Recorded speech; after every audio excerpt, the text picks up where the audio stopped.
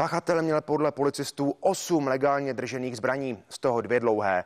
Krimi zprávám se podařilo zjistit, že nedávno navštívil kurz, kde se učil, jak právě s jednou z nich zacházet. Mluvili jsme přímo s jeho instruktorem. Tady je jeho spověď.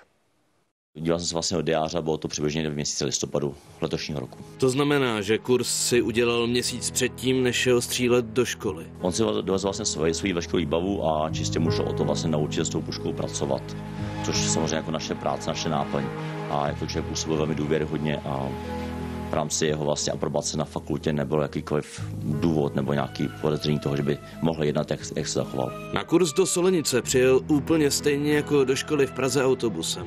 Pušku prý přivezl v obale sebou. Přehrám si záběry, co si vlastně pamatuju z toho kurzu, svého času stráveného s ním. Tam vlastně nebyla jediná sad chvilka, kdybych si mohl říct, ten člověk nějakým způsobem vychyluje z nějakého normálu. On jako osoba velmi tichý, protože si vzpomínám, byl vlastně moc nemluvil jako člověk a vyjadřil se velmi kultivovaně.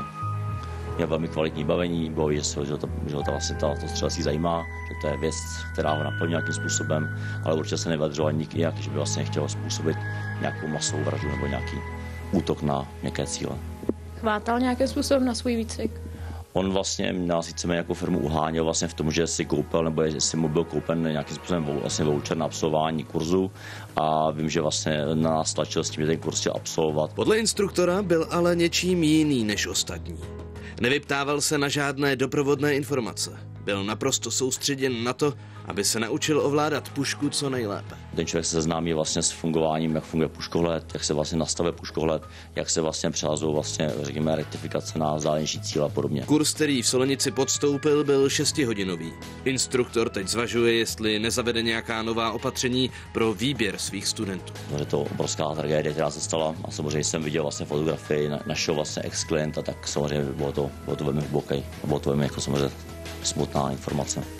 A budete nějakým způsobem upravovat to ověřování? Nejsem schopen se tomu ještě vyjádřit. Samozřejmě je to vlastně první velká, vlastně těžká situace pro Českou republiku, takže nevím, jak se můžu vyjádřit. A samozřejmě určitě nějaké opatření s tím jako zavedeme.